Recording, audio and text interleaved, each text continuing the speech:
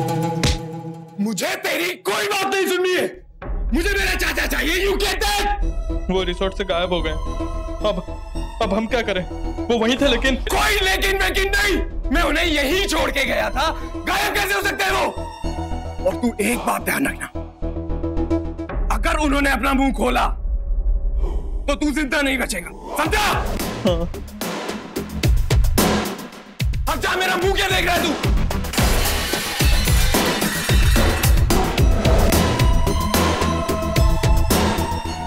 कामयाबी के इतने करीब आके मैं हार नहीं सकता।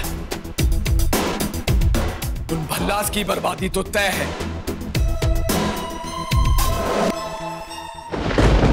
अभिषेक सोहेल छूटना नहीं चाहिए। एट एनी कॉस्ट अरेस्टेड तुमने देखा पीयू की क्या हालत? मेरी दोनों बच्चों की हालत का जिम्मेदार वो कमीना है। क्योंकि तुमसे पहले अगर मेरे हाथ लग गया ना तो उसे जान से मार दूँगा ज़िंदा कर दूँगा sir.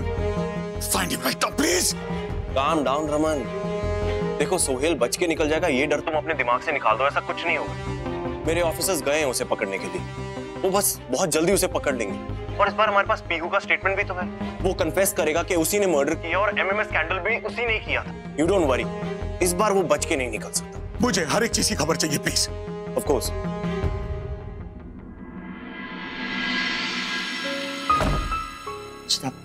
पीयू ठीक है ना प्लीज़ बहुत मुश्किलों से सोई हो रमन इतनी डरी हुई है ना।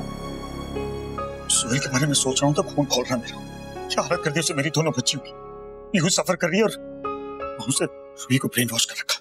मेरा बस चले तो उसे रमन नहीं प्लीज़ आप प्लीज़ कुछ खराब मत करना क्योंकि रमन वैसे हमारी बच्चियाँ परेशान है। मैं नहीं चाहती कि आप किसी मुश्किल में फंसो जस्ट काम डाउन नो क्योंकि अब अब तो सब ठीक होने ही वाला है ना सुहेल पकड़ा जाने वाला है। सब ठीक हो जाएगा।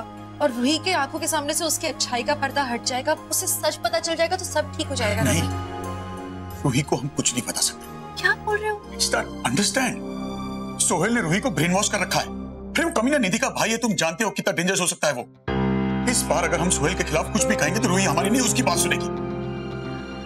देखो जब तक जब तक कोर्ट में उसका झूठ प्रूव नहीं हो जाता उसे सजा नहीं हो जाती हम रूही को कुछ नहीं बता सकते। और मैं रूही को भी कह दिया कि मम्मी जी और मीका को भी समझा दे इस बारे में।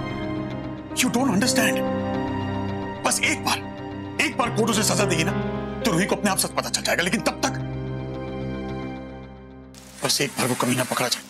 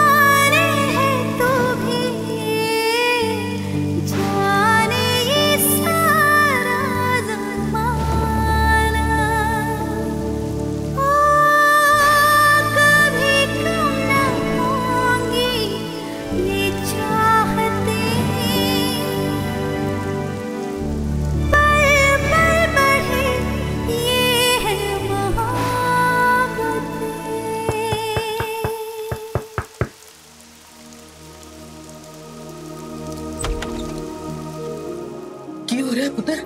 पीहू ने किसका खून होते देखा है? और रूही को सोहेल के बारे में कुछ नहीं बताना है? मतलब मैंने कोई पूरी गल बताएगा?